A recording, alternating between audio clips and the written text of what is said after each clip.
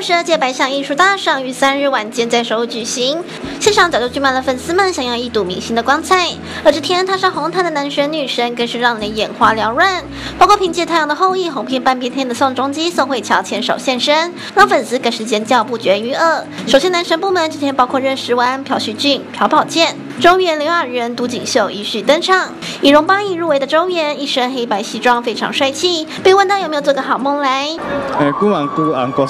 都 锦秀帅气正装登场，让现场的粉丝尖叫连连，他也亲切的跟现场的观众们挥挥手示意。紧接着是以电影词道入围的刘亚仁登场，一样是正装登场的他最近是不是很忙呢？